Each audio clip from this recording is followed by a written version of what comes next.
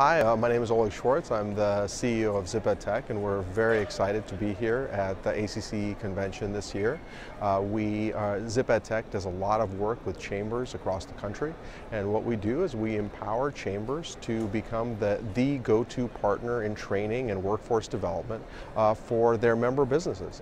We provide a completely customized turnkey platform uh, of education for our chambers uh, that is linked to existing chamber pages and goes to a completely white labeled uh, chamber university that has uh, thousands of courses from which their members uh, and the employees of members can choose from.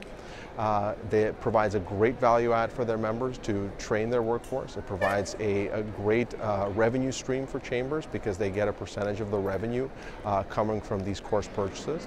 And ZipEdTech is just what we like to call the wizard behind the curtains. We do all of the, the work and the heavy lifting and uh, the chamber gets all the benefits of that.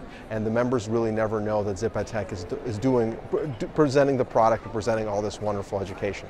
So we'd love to talk to you if you have any questions and get you involved in the program.